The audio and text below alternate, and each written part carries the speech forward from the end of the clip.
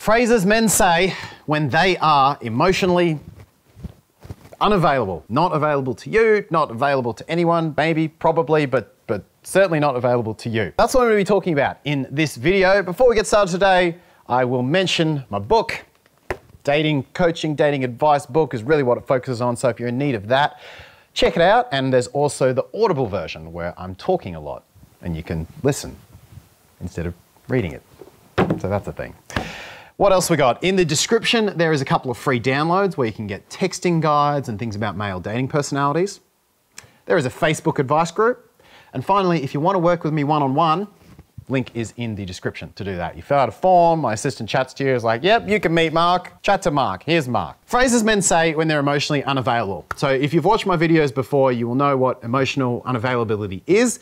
If you haven't, it's basically this idea that I am a man or I am a woman and I do not want to actually allow myself to get closer to someone. I am emotionally unavailable to be connected. Now, couple of points with this. Emotional unavailability can look like He's just not that into you. In fact, often they're impossible to tell apart. So, some of the stuff today, most of what we're talking about will be emotional unavailability. Some of it, guys will also say when they're just not that into you, when, when they don't like you enough. Um, how do you tell the difference? You don't. Emotional unavailability, not that into you, same end. As I say, I'm going to be focusing on the EU side today, but could, a guy could say these when he's not into you as well. Um, and then I'll also point out a couple where it's like, no matter what his actions are, if he says this to you,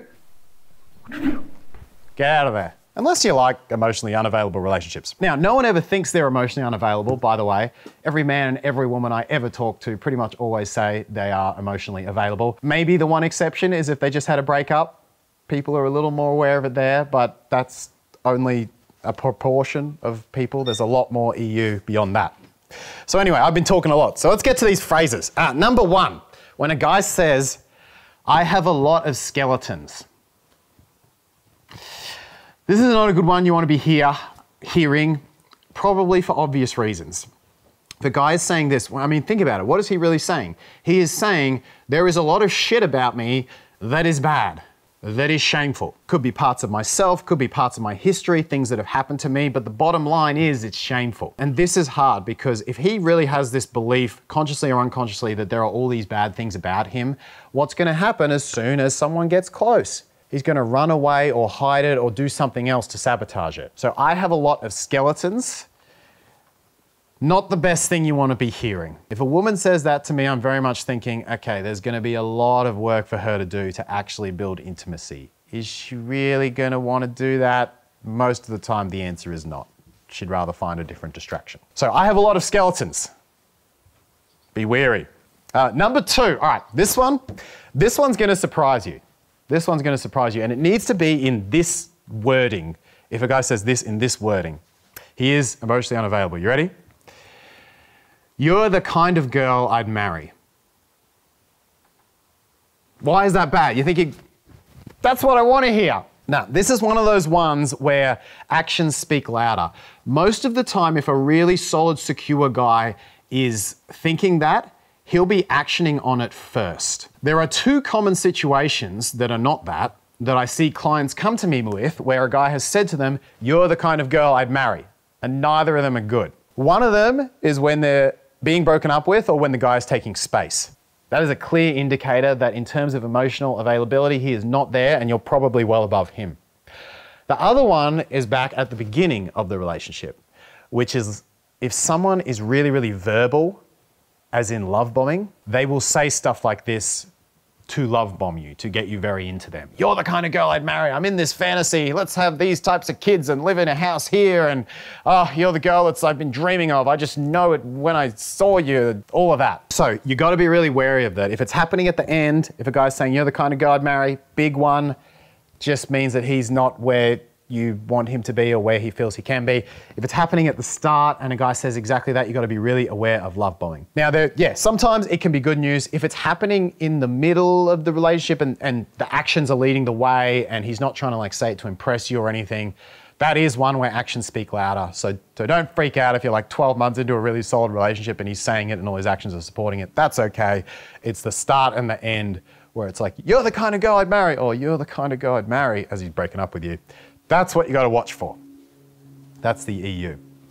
Number three, uh, pretty common ones, and you should be able to figure these out. I want to enjoy my freedom, or I don't want to be tied down. That's basically man speak for a guy saying either I'm not where I want to be in life to have commitment, or I'm not into you enough that you're making me rethink where I am in life is where I want to be. Either way, same result, he is emotionally unavailable to you. Uh, number four, I sort of clued you in on this one at the beginning. I just broke up with my girlfriend. Enough said. Number five, I can't make any woman happy. I can't make any woman happy. No woman wants me. Now, I don't want to I don't want to crucify guys who say this one because I have seen examples where a guy has worked through his shit with this one. When a man says something like I can't make any woman happy, he's sort of on a spectrum. Like he's definitely got wounding, he's definitely got some pain, and he's on a spectrum somewhere from I've just had a really shit relationship but I'm trying to recover and there's wounding there through to I'm a complete victim minded narcissist. Like he's somewhere along that spectrum. So if a guy says, I can't make any woman happy, you've got to kind of go, all right, he has shit. How is he showing up? Is he working on it? Are we doing this consistently together? As I say, I have seen, I don't want to crucify guys who say this one. I have seen guys work through this one. Um, it is work though. It's not one of those ones that's like going to go away without work and self reflection and therapy or coaching, whatever it is.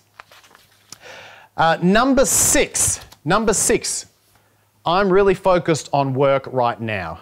Or even I'm really focused on blank right now. Think about men. I had a really interesting conversation with a young woman recently, and she said, You know, my boyfriend's like turning 30 this year, so he'll probably want kids in like the next five years, right? Because he's going to be 35. And 35 is an age where people want kids. Uh, I said, You're thinking like a woman. Women think in age, men think in achievement. The better question for a man is like, What do I need to do before I have kids? Or what do I need to have achieved? Now, for every guy, it's different. Some guys, it's like, I need to make $10 million and own a country. For other guys, it's like, I just need to be growing the flowers that I want to grow in my garden. So the, the thing is different. Um, but if a guy says, I'm really focused on blank, he is trying to give you a subtle message that you're not that important right now that other things are more important to him. It's not because you don't have value, don't go telling yourself stories about it. It's because he has other stuff that he wants to focus on right now, and it's not you. Number seven, all right, the separated fellas are going to hate me for this one, uh, but it's pretty much true. You guys know deep down, I'm separated.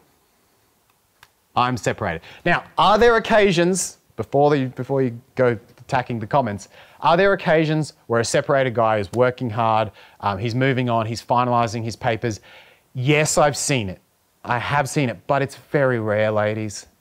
It's very rare. You have to understand the thing about men when they're separating is like men get the, if, if, if a man's in a bad relationship, first comes relief, then comes sadness. Whereas for women, it's the other way around. First comes sadness, then comes relief. So if a man is separating, usually, not always, but usually it means that he hasn't pulled the final trigger on the divorce papers yet. He's just at the end of the relief portion and he hasn't hit the sadness portion yet. Separated men, I mean, it's, it's a no brainer if he's living or in some sort of situation with the ex. But even if he's not, you want to see real progress. You want to see a lot of work. You want to see things moving forward the, the vast majority of separated men, once they get the divorce, then they want to open date for a while. Then a year or two later, there's like thinking commitment again. So you probably got him like two or three years early. Number eight, if a guy says, I'm bad news, or you don't want to date me, anything like that, sort of really talking himself down, you've got to ask yourself would a really solid, secure partner who's going to be able to go through the shit and show up with me and do all the things, is he really going to say that a lot? Like, really? Like, maybe once or twice if he's having a down day. I mean, we all say that those things occasionally, but if that sort of stuff is coming out regularly, it can be a real issue later on. Like, I'm not good for pe- I'm not good for partners or for women. Again, it's sort of similar to that one before which I said to you, uh, what was the one I said before? I can't make any woman happy. It's sort of similar to that. You've got to check if it's, is there a hell of a lot of repressed pain here? Am I dealing with a victim narcissist type person? Or am I dealing with someone who does have his self esteem challenges, but he's showing up, he's working on them, he's consistent? You might be able to get away with it if he's that end of the spectrum. Number nine. All right, this one is very much dependent on the actions he takes afterwards. Very much dependent on that because this can, this can actually be a complete 50 50. So this one's right in the middle. Uh, my mum or dad or brother or sister or family, da-da, whoever it is, doesn't support our relationship. If you hear this, you're at a fork in the road. The guy will either prioritize the relationship that needs to be prioritized and set boundaries with that family member. Or a lot of the times, what I've seen is it goes the other way and he's kind of says stuff like this when he's pulling away or isn't able to prioritize your relationship. So don't think this one is crucifixion. Just understand that it's a fork in the road one and it may be an EU sign if he is not able to prioritize your relationship. And number 10, I saved the best to last. Number 10, and this is the one, this is this one especially, words matter more than actions. This is, this is like the one time in life you can throw out the rule actions speak louder than words. It's like the one time. And it is the time when a guy says, I'm not looking for a relationship. Other versions of this include I don't have time for, or I'm not ready for, any of that. If he says any of those things, I'm not looking for a relationship things, the whole idea of actions louder than words can get thrown out and just take the words because he means what he says. Because guys do this thing Guys do this thing where they'll say that, and it's like, hmm, I want to date this woman, and it seems like she wants a relationship. Bugger. Don't want to hurt her feelings. Huh, I do want to have her around. I want to date her, but only casually. You know what? I will tell her I'm not looking for a relationship. Goes ahead and tell her. If she's cool with that, now I've told her if she keeps seeing me, I'm in the clear. For the next six months, I can be like, well, I told her I didn't want a relationship, so now I'm now now I've done my side of things. And guys will see you for like a long time after you've said that, after they've said that, because they're like in the clear. So beware of that. And leave a comment if you have encountered one of these. I'd love to hear what have you heard a guy say that's EU or have you encountered one of these? Please leave it in the comment below and hit the subscribe button with the little bell.